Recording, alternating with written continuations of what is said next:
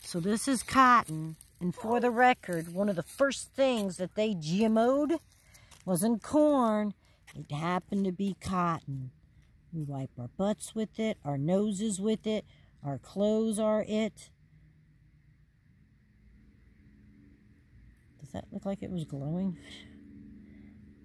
Oh, hey, hi there, Mr. Grasshopper. where is it? He's right next to the cotton thing. Can't see it. Hold on.